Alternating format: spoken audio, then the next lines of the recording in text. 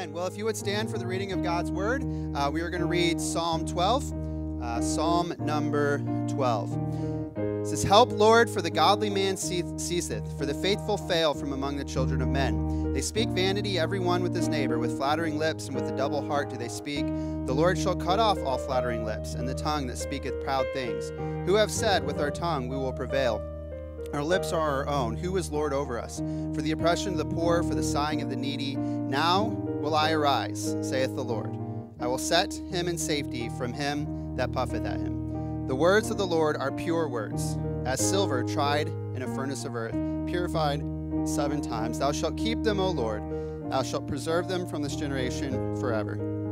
The wicked walk on every side when the vilest men are exalted. Praise the Lord for his word.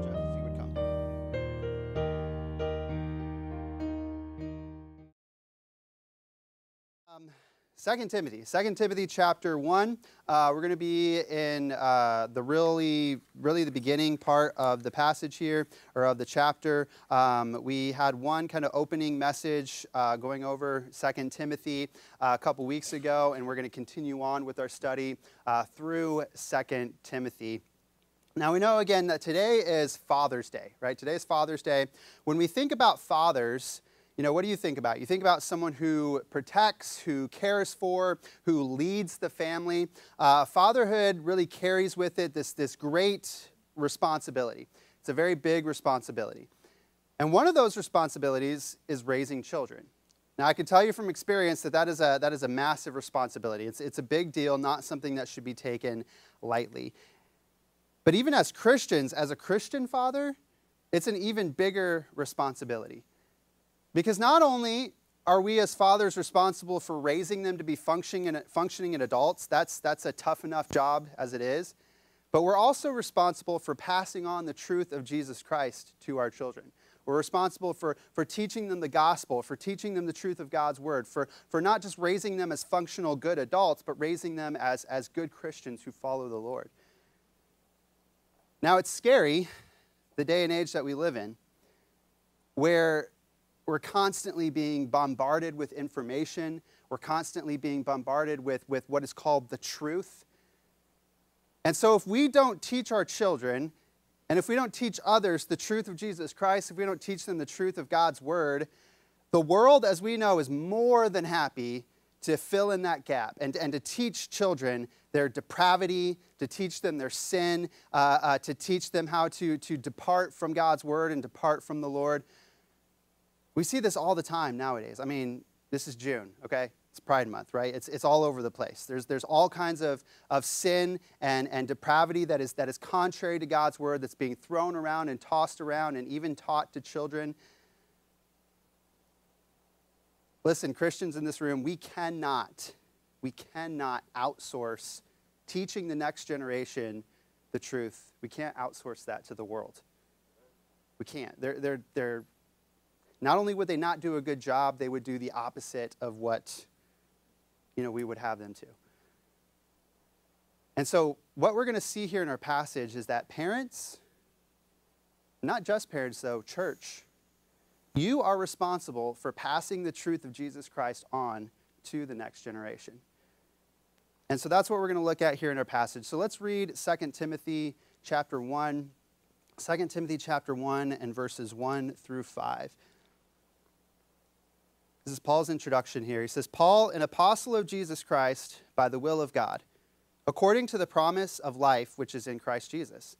To Timothy, my dearly beloved son, grace, mercy, and peace from God the Father and Christ Jesus our Lord.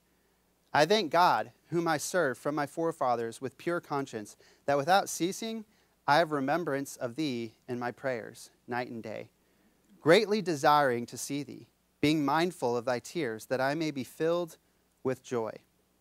When I call to remembrance the unfeigned faith that is in thee, which dwelt first in thy grandmother Lois and thy mother Eunice, and I am persuaded that in thee also. That in thee also. Let's pray. Father, thank you so much again for this time. Lord, thank you for this church. Thank you for the help that they are to me. Um, thank you for uh, the opportunity to get into your word. Thank you for um, bringing our, our children into our lives, Lord. And I pray that you would help me as a father, that you would help us as a church uh, pass on the truth of your word to them, pass on the truth of your word to others, to um, teach others the truth of the gospel, to teach the others the truth of God's word, to disciple them, uh, to raise them up for you, Lord. I pray that you would just uh, give us courage and strength and boldness to do that. That you would fill us with your spirit here this morning. That we would be walk away from here today just just uh, um, just ready to to teach and to lead others to you. And Lord, just inspire us with your spirit, Lord, to do that and to, to pass on the truth of your word to, to the next generation. And we love you so much. Thank you for sending your son to die for us. Thank you for sending him to pay my penalty, my sin debt, and our sin debt, Lord. Thank you so much. And again, help us to teach others about that as well. And we pray all these things and just give you all the glory. In Jesus' name, amen.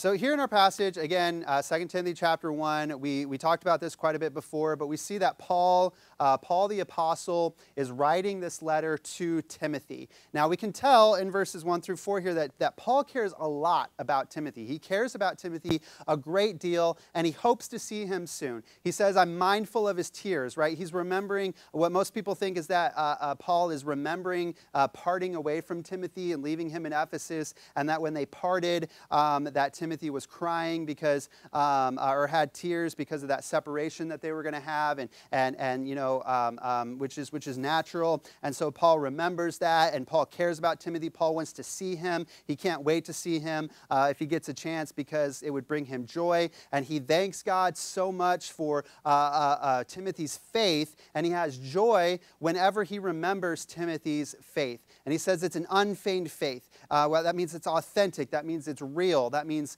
uh, uh, Timothy has that faith himself and a, very real faith in Christ. And this faith that brings Paul so much joy in Timothy, his, his, his, uh, uh, um, um, his um, you know, this person who Paul has been mentoring, who Paul has been teaching, his, his disciple really, uh, the faith that Timothy has, where does that come from? Where did he get it from? How was it passed on to him? Well, somebody passed it on to him. And I think if we see here in our passage who passed that faith on to him, then we can also see where our responsibility lies to pass that faith on to others. And so, what do we see here in our passage? Well, first of all, Timothy received the faith from his family. He received it from his family. Now, uh, if you look at Acts chapter 14, you get kind of Timothy's uh, backstory. Acts chapter 14, this is, this is pretty cool. Um, so, Acts chapter 14, we see that Timothy was from the city of Lystra. Okay, Timothy was from the city of Lystra, that's kind of in the Galatia province. And so when Paul wrote the letter to the Galatians, Lystra and the church in Lystra was probably included in that letter when it was passed around.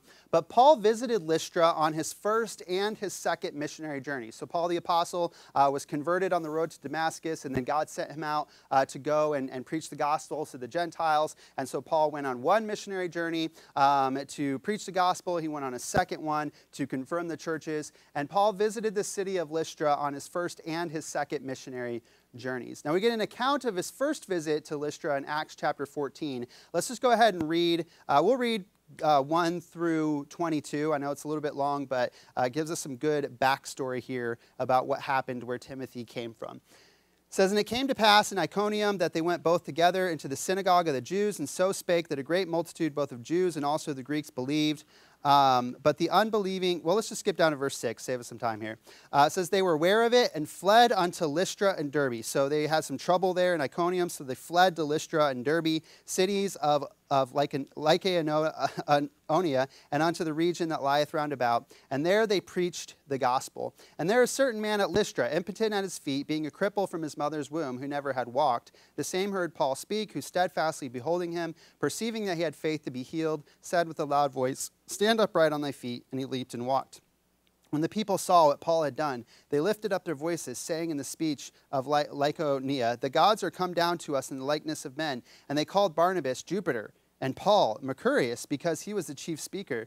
Then the priest of Jupiter, which was before their city, brought oxen and garlands into the gates and would have done sacrifice with the people, which when the apostles Barnabas and Paul heard of, they rent their clothes and ran in among the people, crying out and saying, Sirs, Why do you these things? We are also men of like passions with you, and preach unto you that you should turn from these vanities unto the living God, which made heaven and earth, and the sea, and all things that are therein, who in times past suffered all nations to walk in their own ways. Nevertheless, he left not himself without witness, and that he did good, and gave us rain from heaven and fruitful seasons, filling our hearts with food and gladness.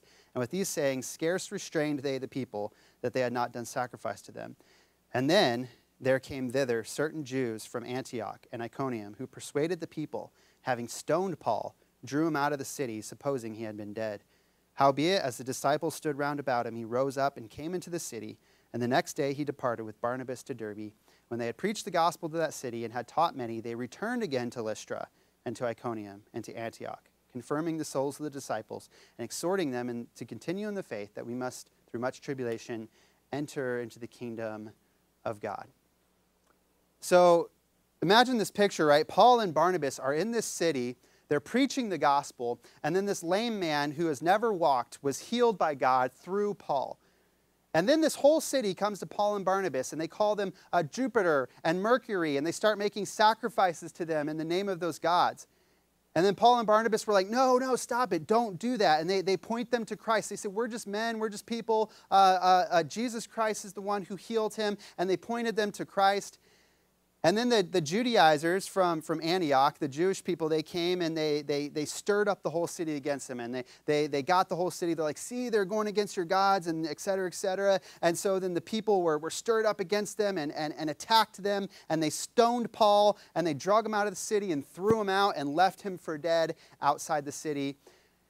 And then all the disciples, all the Christians were sitting around Paul, and I, I, I, can just picture it now the circle around Paul. All of a sudden, he stands up, and they're like, Whoa, you know, God healed Paul.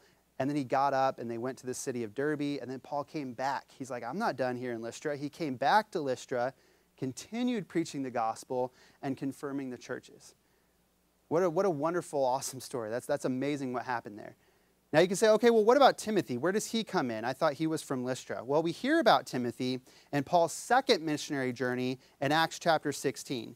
Um, and I know this seems like a lot, but if you follow along, I think it will, will help um, as we kind of put together Timothy's story here. So, so Paul and Barnabas preach the gospel in Lystra. They get attacked, they get stoned, they get thrown out. They come back, they confirm the churches, they preach the gospel some more. And then in Acts chapter 16, um, Paul is now on his second missionary journey. He doesn't have Barnabas this time with him. Uh, I think he took Silas with him as, when they, you know, they split up, but that's a whole different story. But Paul is coming back through Lystra to confirm the churches, to help them, to preach to them. And so look at chapter 16 and verse 1. It says, Then came he to Derbe and Lystra, and behold, a certain disciple was there named Timotheus. So this is Timothy, the son of a certain woman which was a Jewish, uh, Jewess, and believed. So his mother was a Christian Jew, but his father was a Greek, which was well reported of by the brethren that were at Lystra and Iconium. So Timothy was well reported of. He had a good reputation. The people loved him there. Him would Paul have to go forth with him, and took and circumcised him because of the Jews which were in those quarters, for they knew all that his father was a Greek. And as they went through the cities, they delivered them the decrees for to keep, and that were ordained to the apostles and elders which were at Jerusalem. So we see Timothy where he comes into the picture now. So Paul is going back through the regions uh, to confirm the churches, to preach to them, and then he comes to Lystra. And when he comes to the city uh, where he, he you know, had that trouble before but still preached the gospel, he finds Timothy. And Timothy is this young man who is well reported of in the church. So I can just imagine people in the church being like, Paul, you should hear about this, this young guy, Timothy. Man, he's, he, he loves the Lord. He, he can preach. He can speak the word. Um, he's, he's helping us in the church. Man, he, he is great. Timothy is awesome. Um, of course, glory to be to God, right? But, but Timothy is, is, is great and he's well reported of, reported of. And so Paul was like, yeah, that sounds great. And so he met up with Timothy and he took him under his wing and kind of mentored him and brought him with him along for the rest of his missionary journey. And so Timothy went with him as they passed through the other churches. And so you get this picture of Timothy's story, right? Um, and you see how he kind of how he did receive the gospel, how he received the truth of God's word. What we see happen is that Paul, the apostle, preached the gospel in his city. And then we see from 2 Timothy chapter 1, verse 5, that then his mother and his grandmother received the gospel from Paul and then passed it on to Timothy, right? 2 Timothy chapter 1, verse 5. It's exactly what uh, Paul says there. He says, When I call to remembrance the unfeigned faith that is in thee, which dwelt first in thy grandmother Lois. So, first the faith was in his grandmother and his mother, Eunice. And then he said, And I'm persuaded in thee also. So, what a, what a cool story of how Timothy got saved, right? Paul preached the gospel, his grandmother heard it, his mother heard it, and then they passed it on to him. And so we see what we see here as we put this picture together, as we put this story together, we see the very important role that family has when passing on the gospel and the truth to the next generation. See, Timothy was taught this truth by his mother and his grandmother. Now we know, again, that families, parents, grandparents, siblings, right? Pe- uh, uh, people in our family, we are responsible for passing on the truth of the gospel to the next generation. Ephesians chapter 6, verse 4, we see that fathers are instructed to raise up their children with nurture and admonition of the Lord right? To, to raise them up. That means to teach them, to, to help them as, as they are raised, as they grow. Uh, but not just, not just in general, but also in the nurture and admonition of the Lord. We're to feed them the Word of God. We're to, to feed them the teaching of, of the truth of Jesus Christ. We're to give them admonition, which means encouragement, right? To encourage them in the Lord, to uh, build them up in the Lord. That's, that's, that's the role that fathers are to play. Is the, the Israelites, um, in, in the Old Testament, we see lots of examples where the Israelites were to pass on to the next generation the good news of what God has done for them and their children. Just a couple examples. Exodus chapter 12. We looked at this when studying the Lord's Supper. Um, but Exodus chapter 12 and verse 26, we see that the Passover, um, one of the major roles of the Passover was to pass on the truth of what happened at the Passover to their children um, verse 26 of Exodus chapter 12, it says, And it shall come to pass, when your children shall say unto you, What mean ye by this service? That ye shall say, It is the sacrifice of the Lord's Passover, who passed over the house of the children of Israel in Egypt when he smote the Egyptians and delivered our houses, and the people bowed the head and worshiped. So they were to use the Passover. Uh, the, the children were going to be like, Why are we eating this Passover? Why are we celebrating this? And it presented an opportunity to pass that truth on to their children. We also see this in Joshua when Israel entered the promised land um, and they crossed over the Jordan River. Joshua chapter 4. Um, Israel uh, crossed over the Jordan River. They were going into the promised land. They were getting ready to conquer that land and, and conquer it for the Lord. Um, Joshua chapter 4 and verse 5 says, And Joshua said unto them, Pass over before the ark of the Lord your God into the midst of the Jordan, and take you up every man of you a stone upon his shoulder, according to the number of the tribes of the children of Israel, that this may be a sign among you that when your children ask their fathers in time to come, saying, What mean ye by these stones? Then you shall answer them that the waters of Jordan were cut off before the ark of the covenant of your Lord, when it passed over Jordan. The waters of Jordan were cut off, and those stones shall be for a memorial unto the children of Israel forever. So they were supposed to pick up these stones in the middle. So um, they crossed over the Jordan River, just like when they crossed the Red Sea. Uh, the waters parted, God parted the river. They crossed over on, on dry ground, and then they were told to pick up stones from the bottom of the river and take them to be a memorial to pass that on to their children. And Israel was to pass on the truth of, of God helping them and, and the truth of the Lord and the law and all of that to their children. Now, the Israelites are an interesting case study when it comes to this. Because you see, as they go into the promised land, they're led by Joshua and, and they're on fire for the Lord as they go in and they take over these nations and they, they set up the promised land, they set up Israel for the Lord.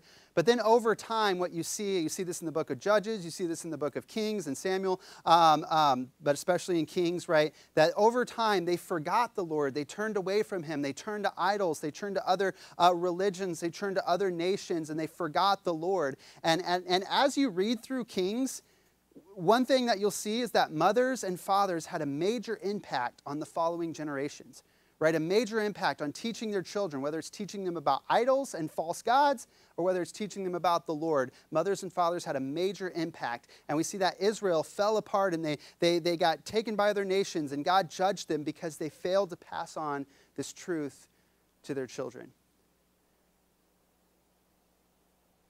So, families, moms and dads, grandparents, families, you are the primary ones responsible for teaching your children and passing on the truth of the gospel to them. I, as a father, my wife, as a mother, are responsible, the primary ones responsible for teaching our children and passing on the truth of Jesus Christ to them. Do not outsource, again, don't outsource the raising of your children. Don't outsource it, especially to the world. Now, the church and other things that God has provided can be a help, can be a supplement, and we're going to talk about that here in a second.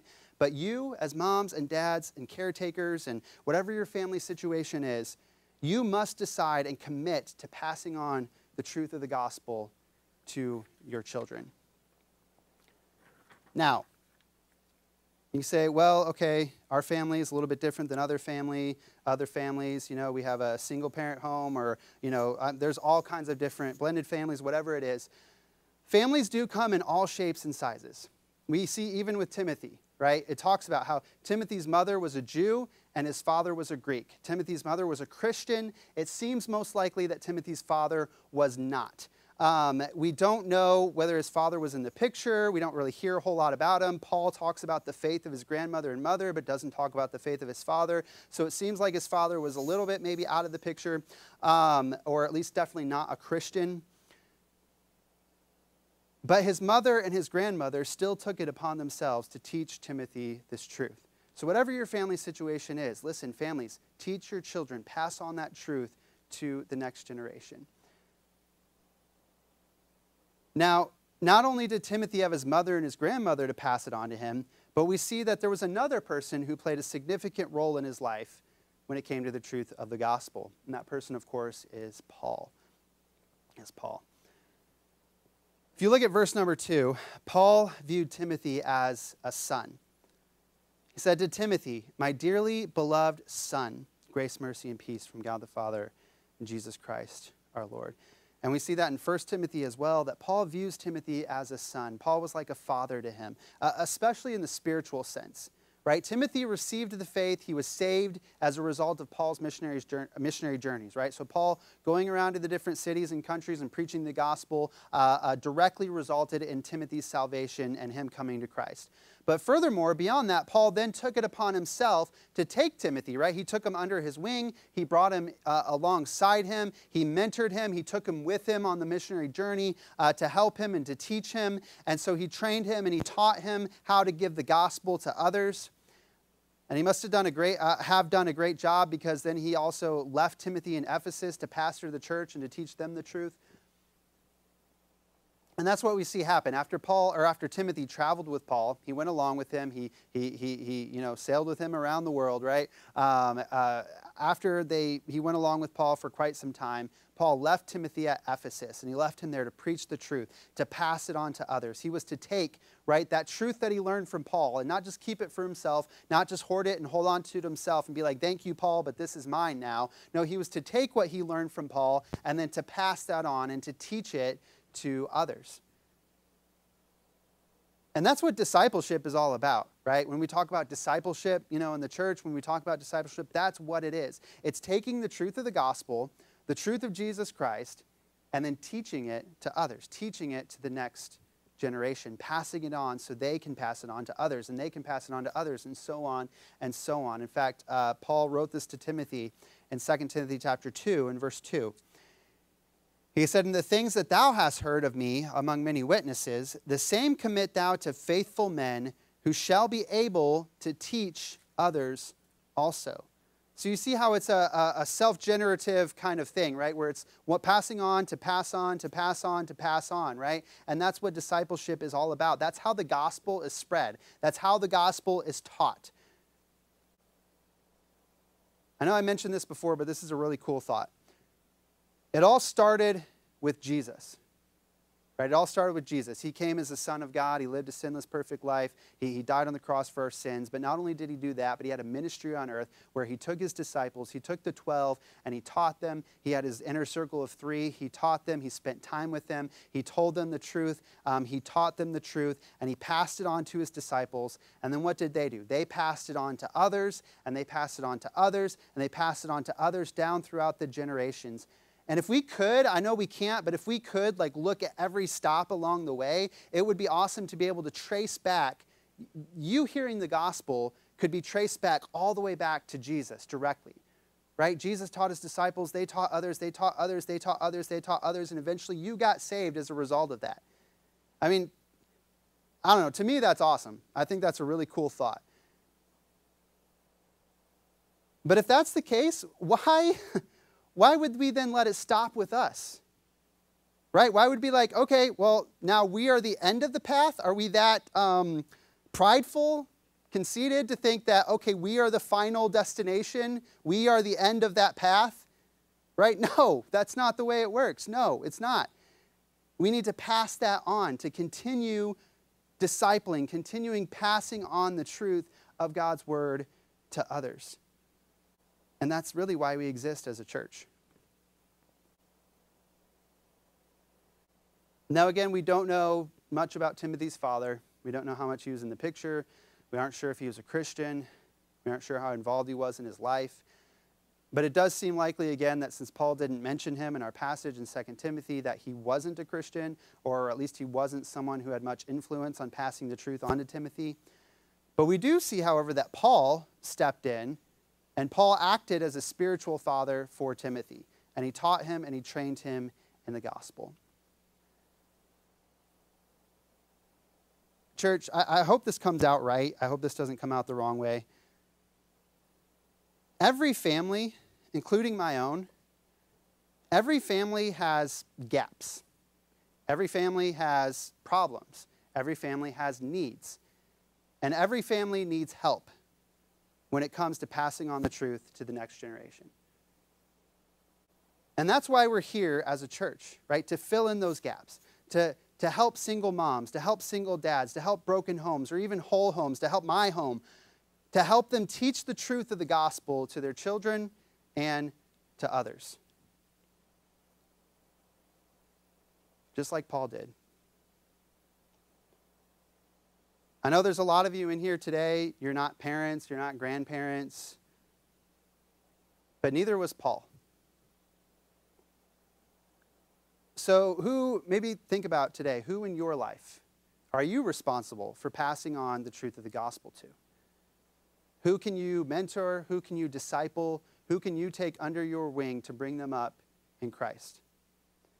Something to, to think about. I won't give you the answer, that's between you and the Lord. So we see that Timothy received the faith from his family. He received it from Paul. But lastly, one thing that we need to point out um, just before, uh, just to make sure we don't get the wrong idea here, we see that the faith that Timothy had, the faith that he received, it was his own. He took it upon himself. We see that Timothy owned his own faith. Look at verse number five. He says, When I call to remembrance the unfeigned faith that is in thee, which dwelt first in thy grandmother Lois, then in thy mother Eunice. So then they passed it on to Timothy. But notice what he, Paul says. He says, And I am persuaded that in thee also. That in thee also. So we see that Paul was convinced, he was persuaded, he knew that Timothy had this authentic, real, uh, unfeigned faith in himself. So he heard the gospel from Paul, he heard the gospel from his mother, he heard the gospel from his grandmother, but he had his own faith. It wasn't Paul's faith, it wasn't his family's, it was his own. Right? He said it was authentic. He said unfeigned. It's not fake. It's not something he's pretending to have, right? Sometimes you can, uh, uh, uh, um, um, I, I, know this happens on occasion, right? There's, there's, there's people within a family and it's a Christian home, and maybe you pretend to have that faith to please the family um, or something along those lines. But, but it wasn't a pretend faith for Timothy. It was real. It was real in his heart and in his life. He truly believed in Christ himself. And so, yes, as families, as moms, as dads, as grandparents, as friends, as a church, we are responsible to pass on the truth of the gospel to the next generation. But it is up to each and every individual to have their own faith. I know, uh, okay, this scares me. If I can just be honest with you, I'll, I'll just be open and honest here. I, I, I sometimes have some fear when I think about this thought. You know, sometimes you hear about people who grew up as Christians, they spent time in a Christian home, they were in the church, they were involved with the church, it seems like they were a really good Christian, and then they grow up, they graduate from high school, and then they leave the faith. It happens all the time. It, it, it's, it happens a lot. And that can be disheartening. Because you're like, you know, they heard the truth. You know, they had the truth of God's word that was spoken to them on a constant basis. And then you wonder, like, what, what happened? And so, uh, like, like again, I, that, that causes me to, to, to fear a little bit for my own children. You know, are they going to continue, you know, in the faith? Are they um, going to continue to follow the Lord when they grow up? But I've also learned to give that over to the Lord. Because, yes, it is our responsibility, it is our job to teach them the, tr- the, truth. It is our responsibility to model authentic faith to them, to show them authentic faith. But ultimately, whether or not they choose Christ is between them and the Lord. And so we can look at it maybe as a like a futile effort, like, like is this really, you know, I'm trying so hard to teach my children about Christ. Is it even going to work? But listen, give it everything you've got. Teach your children. Model the, uh, uh, the truth of Christ to them. Model uh, what, what being a Christian is like. Mentor and disciple other people, right? Take people under your wing and, and teach them about Christ, but ultimately give them over to the Lord. And trust God with it. I would say for the children in this room, really for everyone listening, everyone here, everyone listening online, one thing we need to keep in mind is that you are responsible for your own faith. You are responsible for your own faith. Don't think that just because your parents are saved, that means you are. That's not how it works. Have you trusted Christ yourself? Have you believed on him yourself? For all of us in here, really, one thing I would say don't put all of the burden of your discipleship and learning the gospel and learning God's word, don't put all of the burden on your pastor or the church. Because we need to take time to have your own authentic personal relationship with the Lord. Spend time with Him every day in the Word and in prayer. When I say burden, I don't mean like don't burden me with teaching you. That's what I'm here for. That's why I'm here. That's why I'm the pastor, right? But what I mean by that is don't, don't expect all of your discipleship, all of your learning the God's word, all of your faith to come from the pulpit. Don't expect it all to come from the church. We're here for that. We are to disciple, to learn, to teach. That is why we are here as a church. But you need to have your own faith, your own authentic faith, where you are spending time in God's word, where you are spending time in prayer, where you are, are living out and acting out the faith um, yourself as well. Take the, take the Bereans, for example. The Bereans in Acts chapter 17. Acts chapter 17. Um, this is really cool because this kind of gives a good example of what I'm trying to say here. Will hopefully make it make a little bit more sense. Um, Acts chapter 17 and verse 10.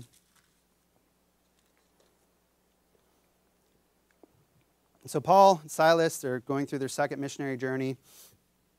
And it says, And the brethren immediately sent away Paul and Silas by, by night unto Berea, who, coming thither, went into the synagogue of the Jews. These were more noble than those in Thessalonica, in that they received the word with all readiness of mind, and searched the scriptures daily whether those things were so. Therefore, many of them believed, also of honorable women, which were Greeks, and of men, not a few. Isn't that really cool what they did there? These Bereans, these people in Berea, they searched the scriptures themselves to confirm what Paul was preaching to them. Now, okay, this passage sometimes gets twisted and used in the wrong way um, to say, like, oh, you should be suspicious of every pastor, of every teacher out there. You shouldn't trust anything anyone says. Um, everyone who's trying to teach you something is probably wrong. Um, we're going to use this passage to, to, discredit the spiritual leaders out of, out of envy or whatever it is. But that's not what this passage is saying. Notice what it says. It says that they received the word with readiness of mind. They received the word from Paul and Silas. They, they, they loved to hear the word from them. They're like, oh, this is awesome. And they, they, they, they received the word and, and received the truth of Jesus Christ with readiness of mind. And they were happy and ready to receive it from Paul. But then they went and searched the scriptures themselves to confirm what was said and for their own faith. They didn't just rely on their spiritual teachers or spiritual leaders to teach them, they wanted their own faith themselves. And so I think both of those elements are important. Both of them work together, both of them are necessary.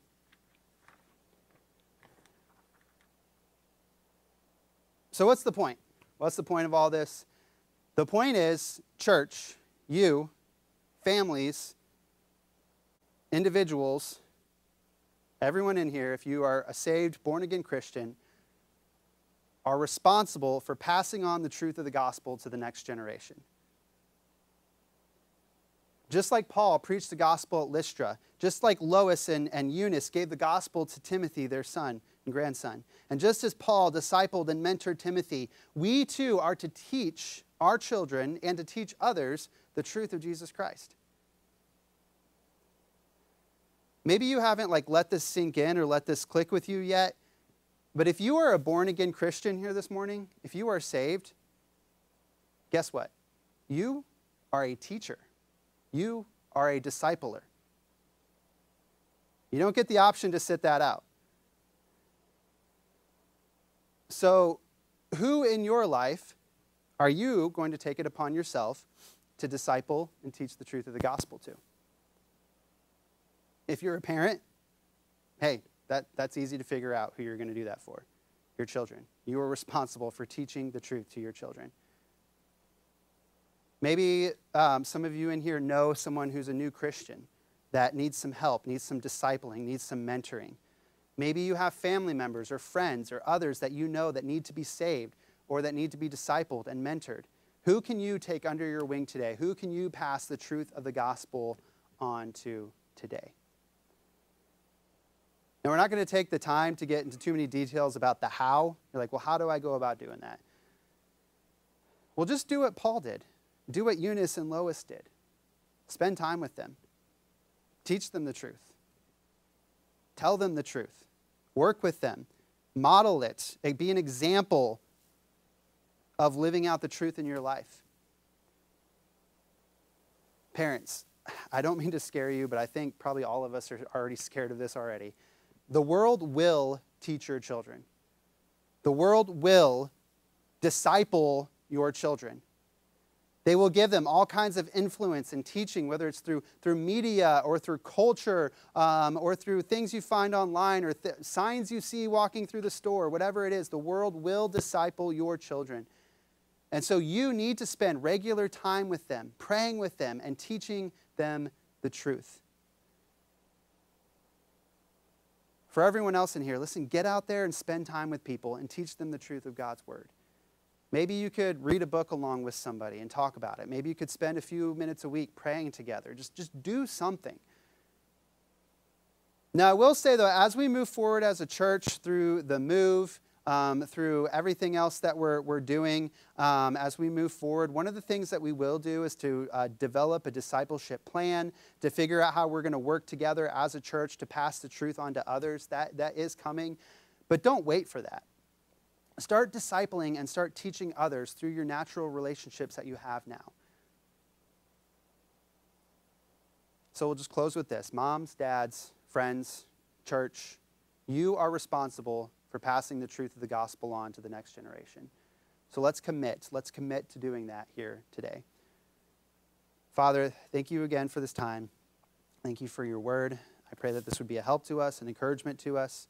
Lord, I know it's an encouragement to me, something that I'm thinking about and dwelling on in my own heart in my own life. Lord, I, I, pray that you'd help me to recommit today to, to teach my children about you, to raise them up in your nurture and admonition, to be there for them, to uh, walk alongside them, and, and to show them your love and your truth. Lord, I pray that as a pastor here of this church, that you would help me to show your love and model it to, to everyone in this room. Um, and Lord, be committed to teach them the truth through your word. Lord, I pray that all of us this morning would commit to teaching others about you discipling others about you and your love. Lord, I pray that uh, you would help us as a church to rally behind all of the families that we have and the children, Lord, and that we would work together to raise them up in your nurture and admonition. That, Lord, that everyone in here who, who has children, I pray that they would know that we are behind them, we are for them, we are with them. Pray that you would encourage our hearts in this here this morning. Lord, thank you so much for all that you do and all that you are. I pray that you would just uh, work in our hearts through your word. pray these things in Jesus' name. Amen. Well, with your heads bowed and your eyes closed.